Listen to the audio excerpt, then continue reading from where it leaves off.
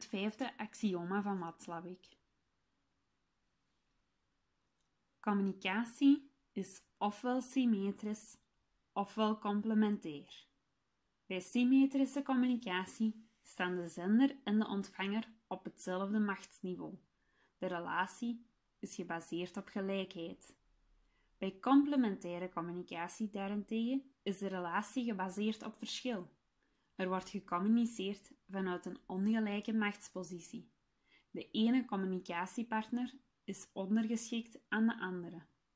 Dit betekent dat bij complementaire communicatie er twee posities zijn, namelijk de leidende of superieure positie en de volgende of inferieure positie. Jullie zagen reeds een voorbeeldfilmpje. Hoe kwam dit axioma daarin tot uiting? Created using Powtoon.